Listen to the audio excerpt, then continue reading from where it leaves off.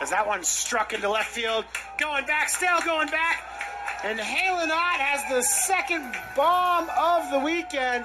Another solo shot. This one puts the Blues on the board. So that is what the doctor ordered for the Blues, Cody. Whitman takes the lead early on. It's one to nothing. Yeah, I bet Wills wishes he had that one back. Left one hanging up in the zone, and Otte made no bones about it. He put it up in that jet stream, and that is on the sales field just outside of the fence here. Whitman with the early 1 0 lead.